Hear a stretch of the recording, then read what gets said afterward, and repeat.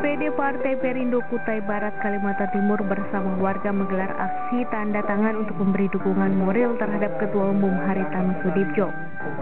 Dukungan diberikan saat digelarnya turnamen sepak bola Perindo Cup di lapangan Meci Mai Sendawar, Kabupaten Kutai Barat.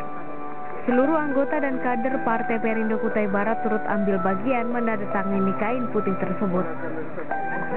Tadi kita melakukan petisi untuk mendukung Bapak Haritano yang sekarang sedang dilakukan kriminalisasi terhadap beliau.